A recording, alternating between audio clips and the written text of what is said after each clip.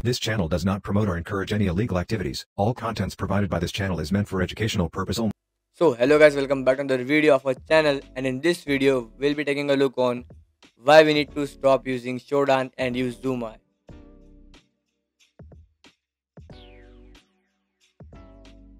But before going to the video we are having announcements here. We were having advanced batch 4 the registrations are closed now but you can still take a look on the content in the description.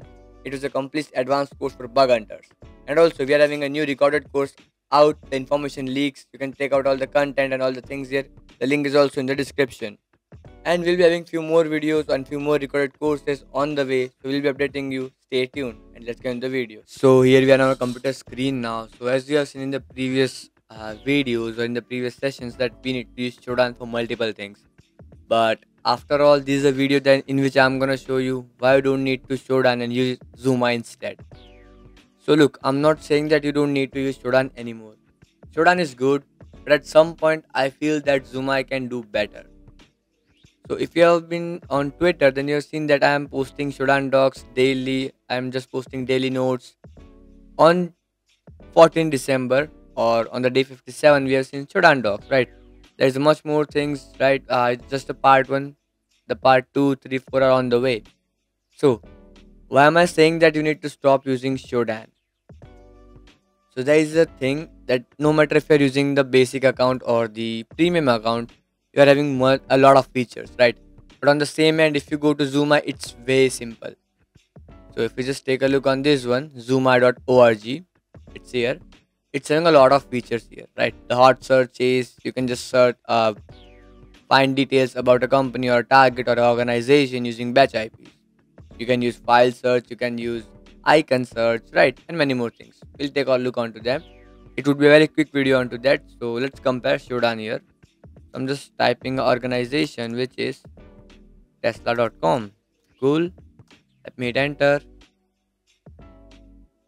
Nothing here. Okay, so let's remove the dot .com as its organization. So I've got around 5341 results. Let's type the same here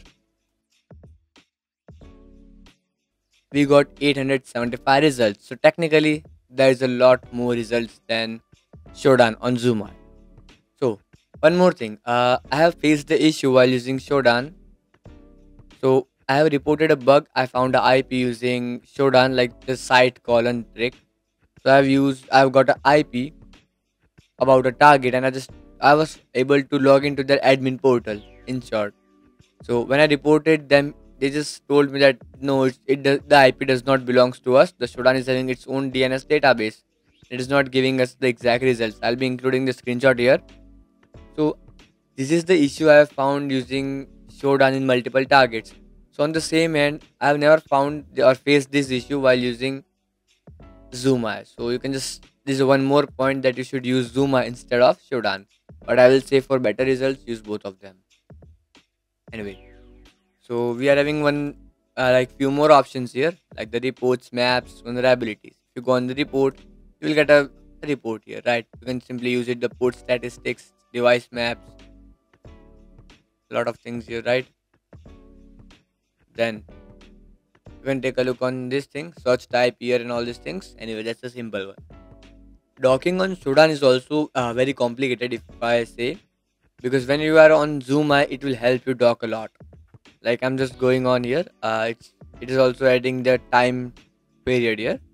So let me just change it to 10 december. So i want ips after 10 december only. So we have 1400 results. Amazing. Let me make it 14 december so we have got around yeah 1483 ips let's change the number to 1 december or 01 1515 results out there. Crazy. So this was just a single dork but if you just take a look on the home page and if you go to the search tool that's a whole tool for information or like uh, the google dorks or the shodan dorks right you can just type your anything here port or let's say you want uh,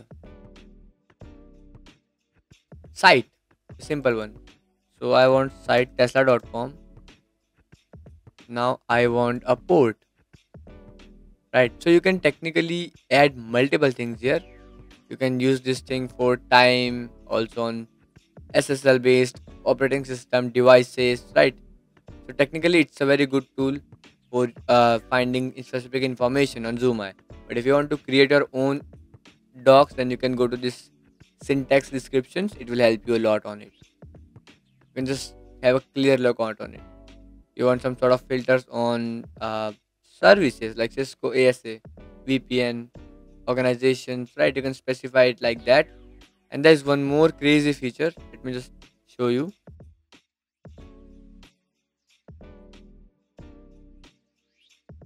on the vulnerability section you can see a lot of things here. There is a lot of CVs, right, mentioned here. So these are the things that are available that might be available on the particular websites. So to view them or to just find on which IP this sort of CVs are vulnerable, right, you need to simply log in or register onto it. If you're having an account, you will be logging in using the Telnet 404. You can just simply enter email, SMS verification, and registration success. Simple as that. So you can do that have your own good recon using it. This was just uh, i was making a short video but if you want a longer video or an in-depth video just uh, tell me in the comment section. I'll make an in-depth video about zoomeye and this is not all right? There's a lot of other features to just take a look around.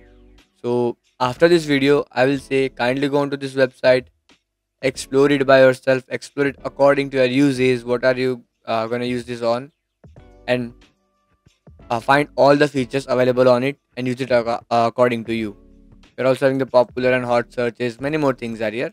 And I'll also mentioning documentation if I found about this particular website. So that was for it. See you guys in the upcoming video and don't forget to check out the links in the description.